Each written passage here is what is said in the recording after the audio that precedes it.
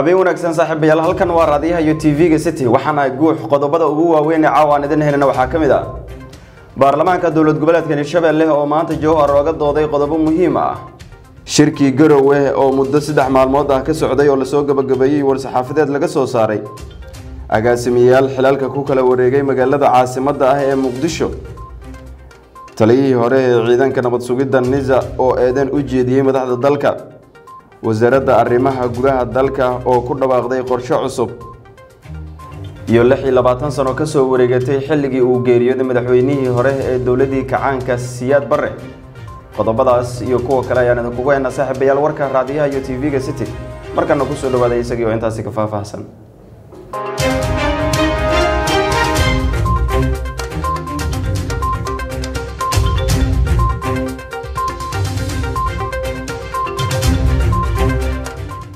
سبدي يا بحيسة أحد يا لسوق يا تاريخ ضحى تلمام إيسا لوضع بيش جنا يو سنة ده لباتن لباتن يكو أي نكو بلابني برلمان كدولت قبلت كان يرشب اللي هيا ما أنت وحا يكولن كو يشين مقال ده جوهر إيا حرونت الرسمي كدولت قبلت كان يرشب اللي أنا حرونت قبل كشب اللي ده دحي حلبانا ده يا كدو دي إلا يهدور قضبو أي كمي ده هايين سيدي يقون دو أي وهل اللي هايين حلبانا دي هوري إيا برلمان كدولت قبلت كان يرشب اللي إيا أن ديبو غصو الله من حلبانا دو كان فافاهين يا بوكر علي محمد kulanka xildhibaanada baarlamaanka dowlad goboleedka hirshabelle oo ka qabsoomay magaalada jowhar ayaa waxaa looga doodayay sidii wax kabedel loogu sameyn lahaa calanka hirshabelle xildhibaanadii hore ee baarlamaanka aan ku soo laabanin ay guno u helaan iyo haddii loo yeero mid ka mid a mas'uul ka tirsan hirshabelle haddii uusan imaaninna ay xilka ka qaadayaan baarlamaanka hirshabelle xildhibaanada kulanka soo xaadiray ayaa ahaa ku dhowaad lixdan iyo sagaal xildhibaan waxaana xildhibaanada dood adag ay ka yeesheen sharciyadaasi xeer hoosaadka waxaa ku qoran gunno ay lahaanayeen baarlamaanka. Marka laga soo tago mushaaraadka inta gunno ee ku qoran lix ilaa lix waaye halka suurta gashi ma lahayn afartii sano ee la soo shaqaynayay. Marka haddii ay midaan kalena ay saas noqonayso waxaan dhihi lahaa horta halayska dhaafo. Waxaan rabaa inaan runta isu sheegno xaqiiqatan dastuurka waxaa noogu qoran boqol toddobiyo toban. Waxaanu ku shaqaynaa sagaashan iyo sagaal xildhibaan waad ogtihiin hirshabelle sidii ay ku dhisantay.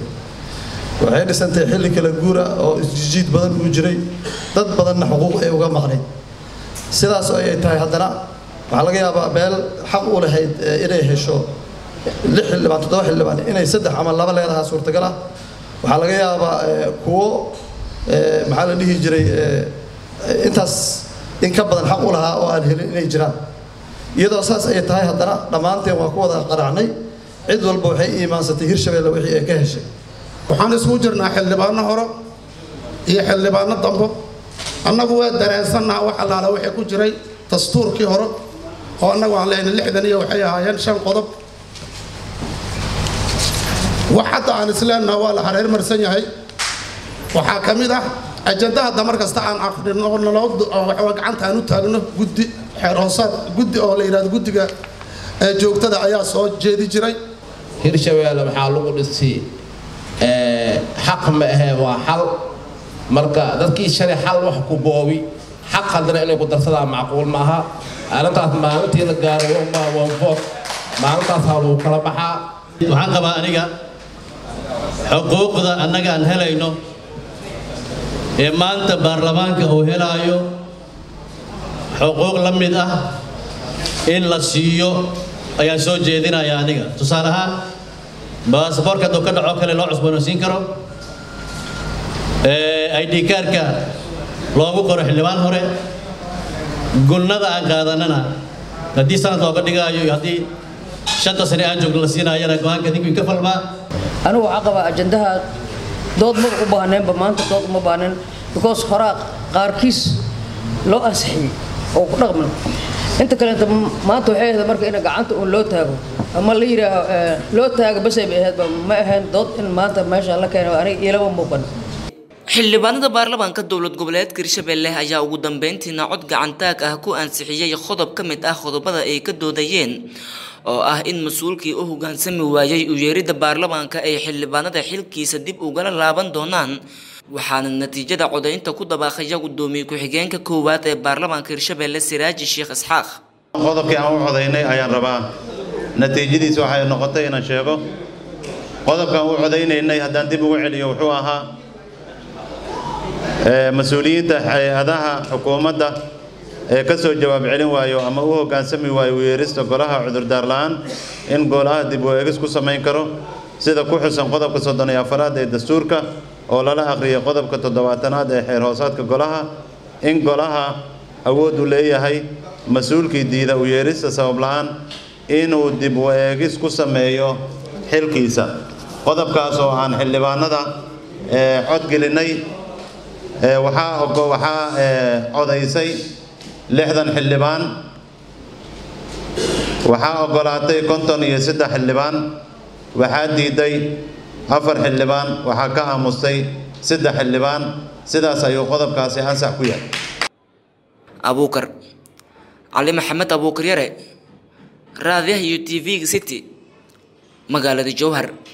Aada umahadsantahay abuukar magaalada garowe ee caasimada dowlad goboleedka puntland waxaa maalmahan ka socday shir looga hadlayay arrimaha doorashooyinka dalka amniga sidii loo dhammaystiri lahaa dastuurka qabyo qoraalka ah iyo arrimo kale madax ka socotay dowladda federaalk soomaaliya iyo kuwa maamul goboleedyada dalka qaarkood ayaa ka qayb galay waxaana muddadii uu socday shirka ay ahayd ilaa iyo saddex maalin maanta ayaana saddex ku ahayd oo lasoo gabagabeeyey shirka waxaa laga soo saaray warmurtiyeed dhowr qodob ka kooban oo uu akhriyey axmed kayte qodobadii ugu muhiimsanaana waxaa ka mid ahaa. Abagelinta nidaam federaala oo dhammaystiran madashu waxay dareen ka muujinaysaa kala aragti duwanaanshaha soo noqnoqday ee u dhexeeya labada heer ee dowladda soomaaliya. Madashu waxay garowsatay in dhammaystir la'aanta qodobada federaaleynta dastuurku ay tahay sababta ugu weyn ee horseeda khilaafka joogtada ah ee labada heer ee dowladda soomaaliya. Sidaas darteed madashu waxay ku baaqaysaa qodobada soo socda. Kow in dowladda federaalka ah iyo dowladaha xubnaha ka ah ay isku ixtiraamaan awoodaha uu u kala xadeeyay dastuurka kumeelgaarka ah.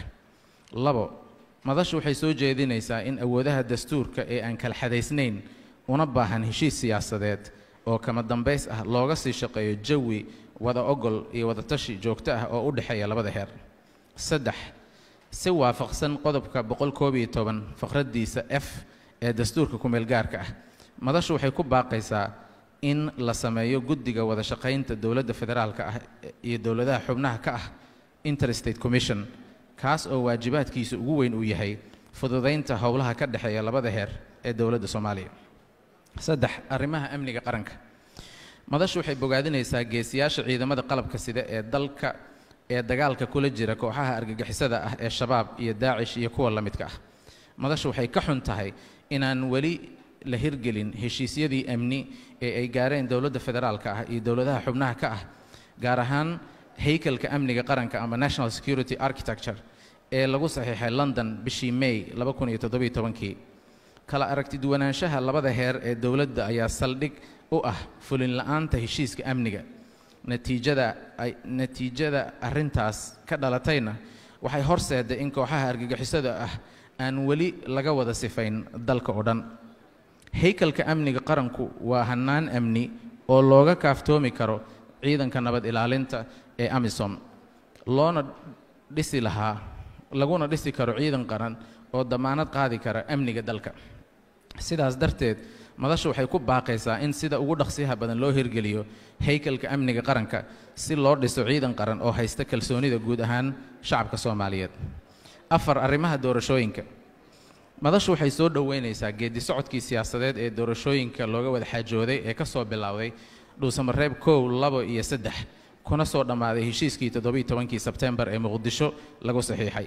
Ha yeeshee madashu waxay walaac xooggan ka muujinaysaa kala aragti duwanaanshaha weli ka taagan hirgelinta heshiiskii toddobiiy tobankii sebtembar madashu waxay shacabka soomaaliyeed xusuusinaysaa in mid ka mida guulaha ugu waaweyn ee laga gaaray dowladnimada dalka labaatankii sano ee la soo dhaafay ay ahayd qabashada doorasho ku qotonta wada ogol iyo isqancin u dhexaysa dhinacyada ay khusayso kuna dhacday wakhtigeedii.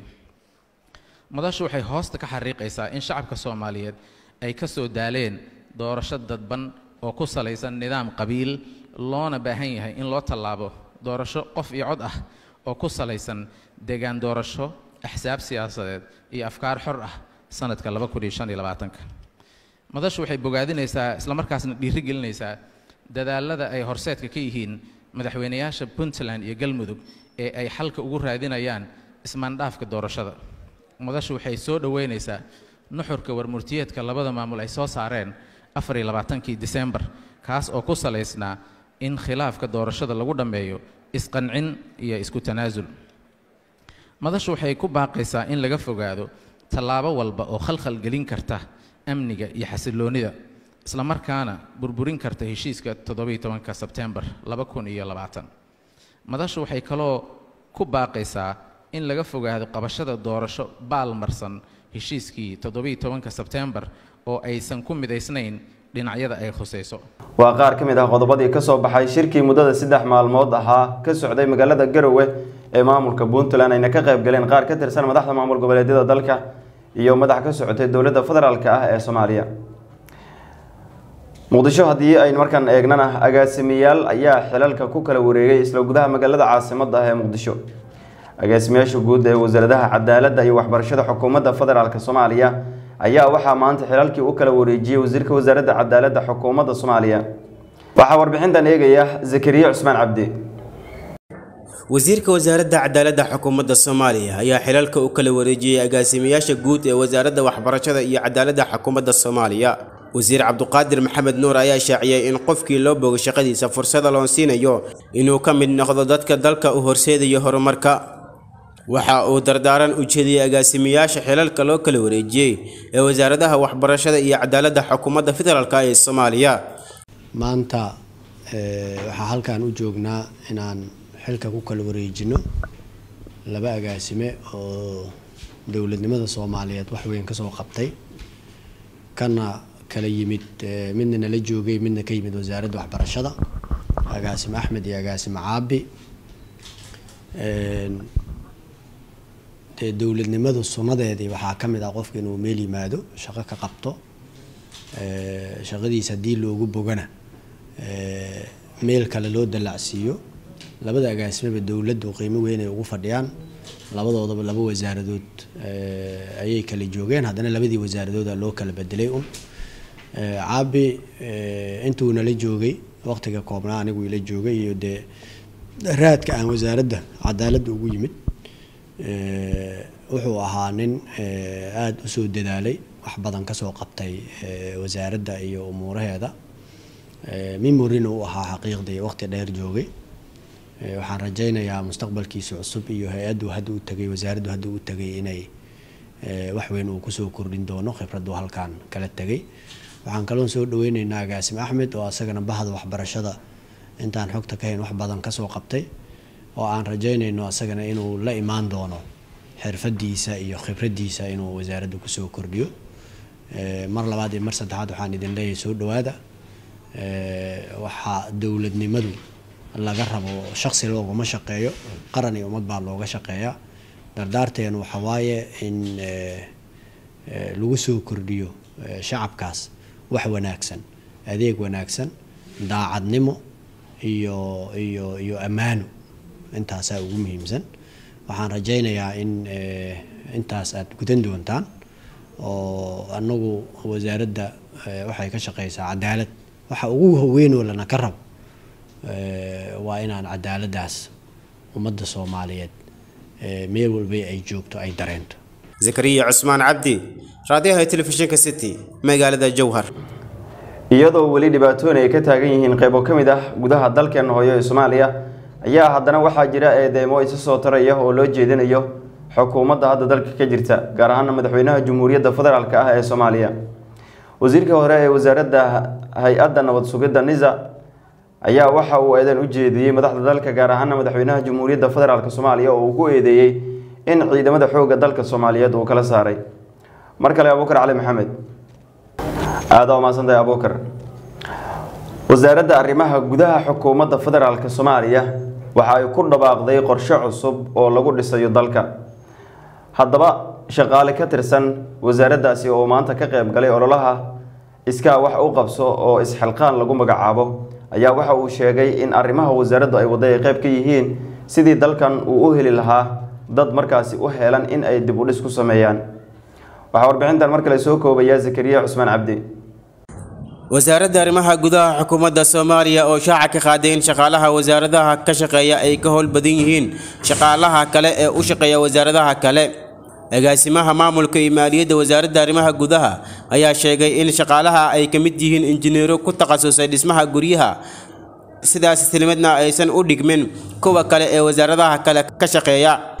Xibinta u weyn baan mar walba qaadanaa wasaaradda waxaa ku jira injineero caawiya nimanka howladeennada qaaska ah. Injineero caawiyaa ku jira wasaaradda oo aad iyo aad khibrad ugu leh arrimaha dhismaha marka wasaaradda waxaan leenahay waxbaan dheernahay. Kaltanka markii la gelayo wasaaradaha kale ama hay'adaha kale oo dowladda wax badan ayaan dheernahay maadaama shaqaalaheennu uu qayb injineeraha iyo qaybo kale oo arrimahan aad ugu qumo isugu jiro. Barnaamijkaanna waxaan leenahay waa barnaamij najaxay. Waxaan mar labaad ammaanayaa shaqaalaha wasaaradda arrimaha gudaha iyo federaalka iyo dib oo runtii sidaad u jeedaanba mar walba heegan u ah inay qabtaan shaqadan qaranka. Hadde barnaamijkan waxaa la dhihi karaa waa barnaamij lagu guulaystay. Waad u jeedaan tiyaatarkii waxaa xaflad jaamacadeed ka socda. Badan goobaha uga caasan dalka ayaa waxaa lagu dhisayaa iskutashi dadweyne oo ah isxilqaan. Waxaana sidoo kale ka qayb qaadanaya mas'uuliyiinta dalka iyo qaybaha bulshada rayidka ah zakariya cusmaan cabdi raadiyaha telefishinka city jowhar sano ayaa laga joogaa xilligii uu geeriyooday allaha u naxariistay jaalle maxamed siyaad barre waxayna ahayd sannadkii shantii xilligaas oo uu ku geeriyooday magaalada los angeles ee wadanka nigeria. Warbixintan ayaan idinkaga diyaariyey.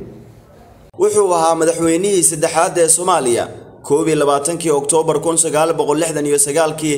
ilaa iyo labaatankii janaayo kowdii ayuu madaxweyne ka ahaa keligii taliye ciidanka xoogga dalka soomaaliyeed ayuu soo noqday sannadihii kun sagaal boqol lixdan iyo sagaalkii ilaa kun sagaal boqol sagaashan iyo kowdii madaxweyne maxamed siyaad barre allaha u naxariistee waxa uu ku dhashay magaalada garbahaare ee gobolka gado bishii oktoobar lixdeedii sannadkii kun sagaal boqol sagaal iyo tobankii. Waxa uu ku dhintay magaalada los angeles ee waddanka nigeria bishii janaayo labadeedii sannadkii kun sagaal boqol sagaashan iyo shantii isagoona sanadkiisa ahaa shan iyo toddobaatan jir madaxweyne jaalle maxamed siyaad barre yaraantiisii waxa uu ahaa wiil reer baadiye ah oo hooyadiisana la yidhaahdo shaqlan warfaah waxayna geeriyootay isaga oo siddeed sano jir ah halka aabbihiisana uu geeriyooday isaga oo laba sano jir ah. Maxamed siyaad barre oo toban sano jir ahaa ayaa xilligaasi waxaa soo koriyey adeerkiisa lagu magacaabo xirsi barre iyo ayeeyadiis sacdiyo sannadkii kun sagaal boqol soddon iyo lixdii ayaa jaalle maxamed siyaad barre waxa uu ka soo tegay xoolihii miyiga uu ku raaci jiray waxaana uu soo galay magaalada dhuusamareeb iyadoona xilligaas cidahooda ay degganaayeen aagga ceelgaab. Markii ugu horreysay waxa uu yimid degmada dhuusamareeb wuxuuna uga sii gudbay magaalada beledweyne ee xarunta gobolka hiiraan. Waxaana halkaasi uu kula kulmay ciidamo halkaa lagu qorayay islamarkaana tababar ku qaadanayay bilowgii kun sagaal boqol soddon iyo lixdii waxa uu galay xirada tababarka ee magaalada beledweyne halkaas oo tababar uu ku qaatay maxamed siyaad barre. Tababarka marka uu dhammaystay waxaa loo bedelay magaalada caasimadda ah ee muqdisho halkaas oo uu kaga degay degmada xamar jajab ee gobolka banaadir. Maxamed siyaad barre waxa uu ka tegay howshii ciidanka kun sagaal boqol soddon iyo sagaalkii kadib markii loo soo sheegay geeridii labada adeeradii ahaa oo kala ahaa jaamac barre iyo maxamed barre waxaana uu aaday deegaan lagu magacaabo ulasan oo hoos tagta degmada dhuusamareeb halkaas oo ay degganaayeen. Maxamed siyaad barre waxa uu degay miyiga iyadoona uu halkaasi ku guursaday xaas sannadkii kun sagaal boqol afartan iyo kowdii kadib markii uu ingiriiska kala wareegay awooddii dalka soomaaliya taliskii talyaanigana uu dagaal ku aamusiiyey. Sannadkii kun sagaal boqol iyo kontonkii talyaaniga markii uu dalka ku soo noqday maxamed siyaad barre oo saddex xidigla ah ayaa loo qaaday dalka talyaaniga sannadkii kun sagaal boqol konton iyo labadii. Lix iyo tobankii oktoobar kun sagaal boqol konton iyo afartii ayuu jaalle maxamed siyaad barre qabtay xilkii ugu sarreeyey ee uu noqday sarkaal. Barre laba xidigleh ayuu u dallacay sannadkii kun sagaal boqol konton iyo shantii isaga oo sannadkii kun sagaal boqol konton iyo toddobadii noqday kabtan ama dhamme.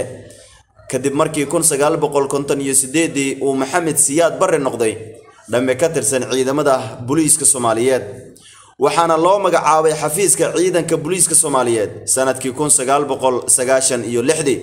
Sanadkii kun sagaal boqol iyo lixdankii waxaa la dhisay ciidanka xoogga dalka soomaaliyeed uuna hogaaminayay generaalkii sida aadka ahaa loo jeclaa daa'uud cabdulaahi xirsi waa uu geeriyooday sannadkii kun sagaal boqol lixdan iyo shantii waxaana beddelay jaalle maxamed siyaad barre oo isagu noqday taliyaha ciidanka xoogga dalka soomaaliyeed.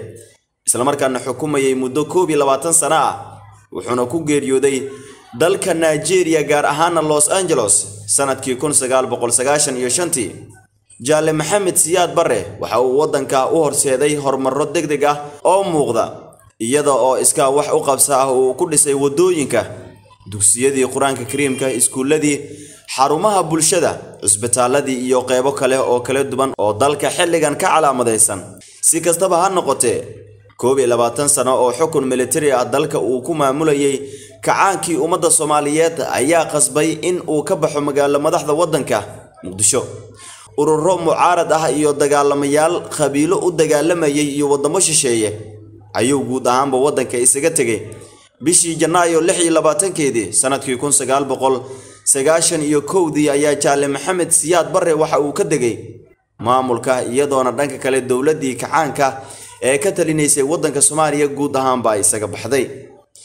Jaalle maxamed siyaad barre toddobaatan iyo shan sano jir isagoo ah ayuu ku geeriyooday magaalada los angeles ee waddanka nigeria oktoobar lix iyo labaatankeedii sannadkii kun sagaal boqol sagaashan iyo shantii waxaana lagu aasay marxuumka gobolka gedo lix iyo labaatan sano ayaana laga joogaa xilligii uu geeriyooday ilaa iyo maanta. Labada janaayo sanad kasta ayaa la sheegaa taariikhdiisa. Halgamaagii weynaa jaalle maxamed siyaad barre. Qabiyi dambe warka ayaan isla soo garnay saaxiibayaal gudaana intaas ayaan jecel inaan ku hakiyo warkii raadiyaha iyo tv-ga city oo uu soo saaray inigoo guuxa. Halkan idinkala socodsiinayay dhanka farsamada iyo kaamiradana waa saaxiibkay daacad. Intaynu ku kulmi doonno warkankii saxiigan akhyaar isma dhaafno